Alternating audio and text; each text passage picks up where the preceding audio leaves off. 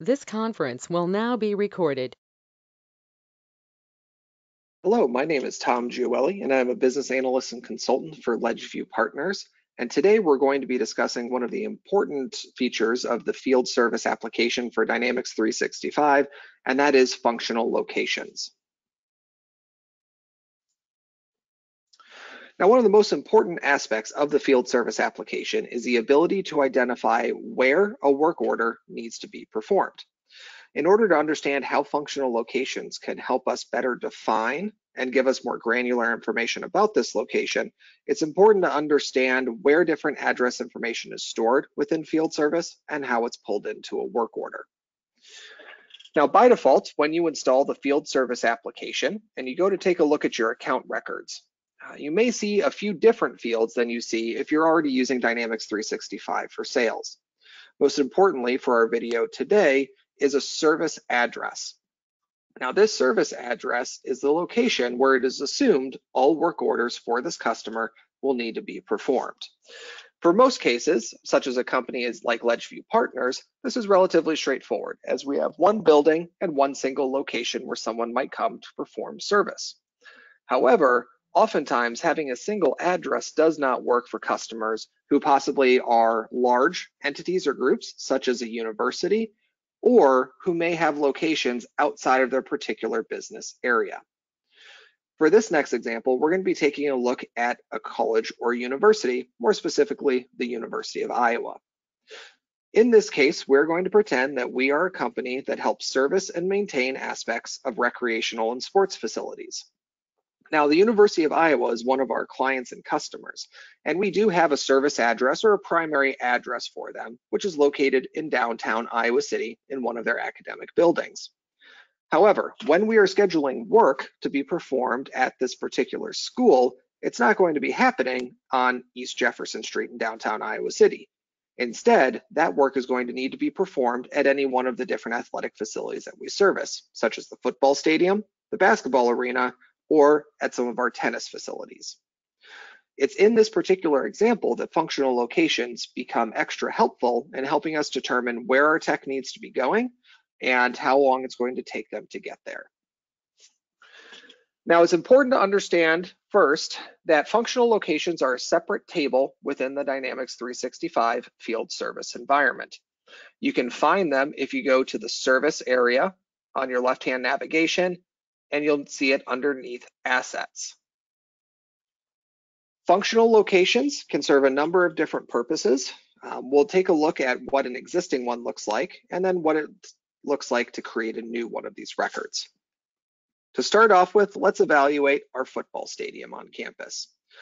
Kinnick Stadium is where the football team plays, and in this case, we have our specific address for the stadium.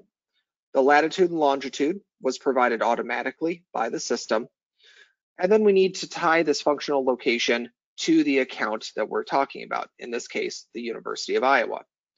For those of you that may see this subgrid over here and take note of that, this is showing that you can have a functional location associated with more than one account. This is a native many-to-many -many relationship between the two tables. Now, creating a new functional location is very straightforward as well. Right now, we already have our football stadium and basketball arena in the system, but let's say we wanna add in our tennis and recreation complex.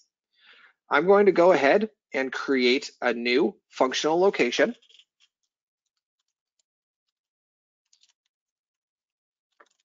I will give it our name. And then I'm gonna type in the service address. Now, if I type this in down at the bottom here, you'll see that the system is going to attempt to auto fill in the information based off of addresses that it can find. In this case, we have our 2820 Prairie Meadow Drive in Iowa City. I can select that and save this record, and the system has automatically added in the latitude and longitude of this address for me.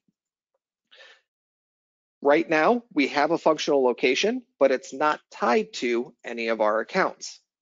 What I need to do now is add an existing account record, choose the University of Iowa, and click Add. At this point, it's as easy as that. We have a functional location created for the University of Iowa for the tennis and recreation facility. Now, let's take a look at what this looks like from the account side of the equation.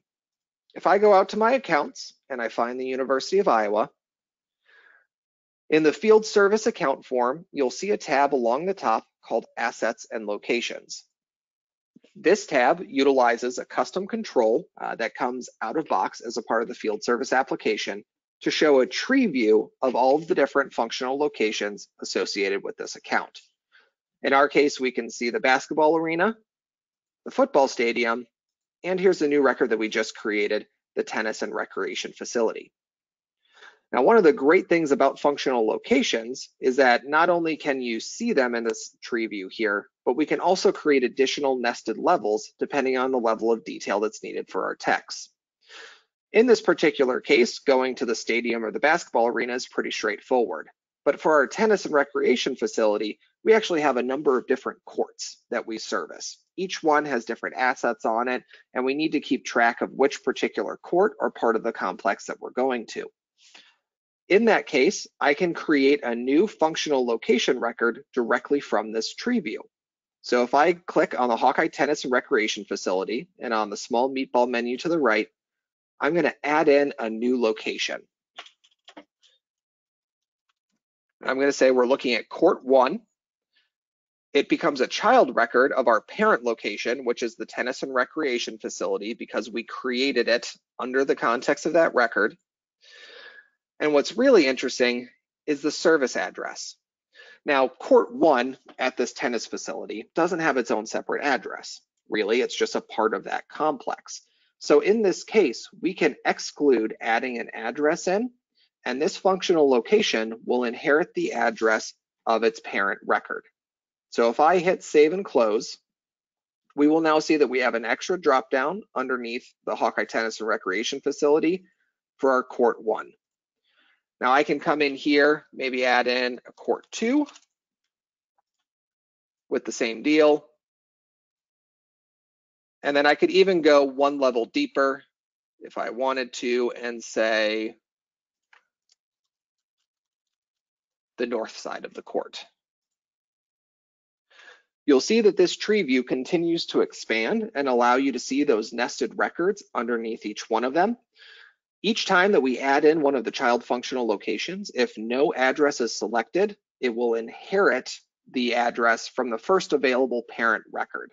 So in this case, when we create a work order, whether we pick the tennis and recreation facility or court one or the north side of court one, it's all going to come down to the same address that we have on this ultimate parent record. So let's take a look at what this looks like on an actual work order. I'm going to go ahead and create a new work order for the University of Iowa. And I'm going to create this first without a functional location. We're going to create it just based off of the account record. Now, once this record has been created, we're going to go to our location tab. And what we'll see here for the address in our location is the service address from the account. East Jefferson Street in downtown Iowa City is where we're located. Now let's go back because really this isn't where we want our tech to go. So when we're doing our booking and scheduling, we don't want them taking a look at distance to this location and don't want their app taking them there. We actually want to go out to our tennis facility. In this case, I'm going to go back to my main page and find the lookup for the functional location.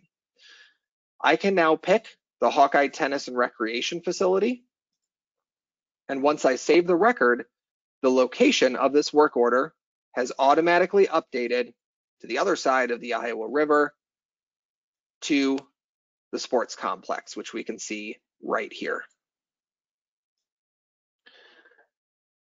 Now I can continue to make changes to this. So I can say that we are going to Kinnick Stadium instead, and our location will update to show the football stadium right there. And then to give you one more example, let's take a look at one of those child locations underneath the tennis and recreation facility. You will notice that all of the available choices here in the lookup are filtered to only show functional locations that are a part of this account or are associated with this account. So in this case, I'm gonna go ahead and pick court one, which is a part of our tennis facility. and save the record. And what we will now see is that location has been updated back over to our tennis facility. So even though when we take a look at this record here, even though I did not define an address on this exact location, it is inheriting that information from the parent functional location. Now, the benefit of using some of these functional locations is that you can get much more granular with the information that you're providing to your tech. It gives you a great way to be able to categorize, especially for some of those large customers, what specific locations or what specific areas you've been going into surface. But you do have to balance that against the additional maintenance of creating and maintaining your functional location table, which does take additional effort unless you have some sort of automated integration built into place with another system.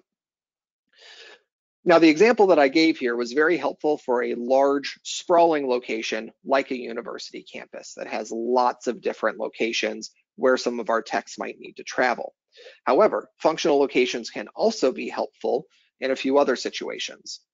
Uh, number one, you may have a customer who is a company, let's say a construction company that you're working with, but you're not going to be doing service at the com construction company's office. Rather, you create functional locations for each of the different construction projects that they might be working on and that you might be sending your technician out to.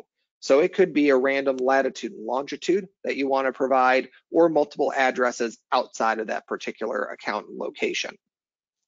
Another great example that I want to take a look at is for a much smaller, much more granular view of locations. Well, we're going to take a look at our account records here again. And we're going to pull up LedgeView Partners, our first example. So unlike the University of Iowa, LedgeView Partners has one building in Appleton, Wisconsin. However, in that one building, we might have techs who need to go to several locations inside of the facility itself.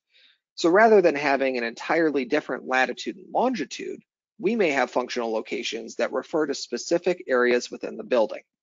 One of the most common examples I've seen of this is for an IT team who needs to be able to track or understand, especially where some of the larger hardware is located within a building or a facility. So in this case, when we take a look at our assets and locations, we have functional locations for the break room and for the server room. In the server room, we can break this down even further and we can have rack one, rack two, or rack three. The idea behind this is that when we create the work order for our technician, we want them to have all of the possible information there and available so that they can quickly and easily identify and understand exactly where they need to go. So rather than them needing to have someone type in the information that you need to go to the server room in the northwest side of the building and go to rack two, we can instead specify that we're going to rack two, which is a child record of the server room, which is a part of LedgeView Partners, and they can have that information directly available to them. This also gives us the benefit of being able to say, maybe the tech comes into that uh, server room and says, hey, rack two wasn't closed properly and locked. Uh, security procedures weren't in place. Well, we can very quickly and easily then see what was the last work order that performed some sort of action in rack two of the server room. So whether you're taking a look at functional locations as sprawling across an entire city or all the way down to a shelf in a specific room, it gives you a much more granular level of control and can be a huge benefit for organizations as they work their way through understanding where a tech needs to go for a work order and being able to properly define and categorize that information. A very related topic to functional locations are assets they're tied in relatively closely. However, we will not be going into that in today's video, but it is important to understand that assets can oftentimes be a part of these functional locations and also help give additional information and context into the service being provided. With that, I thank you for taking the time to listen to this video here today. If you do ever have any questions, would like to get support, take a look at our library, get a demo, talk about field service at all, please don't hesitate to contact us at LedgeView Partners. And thank you and hope everyone has a great day.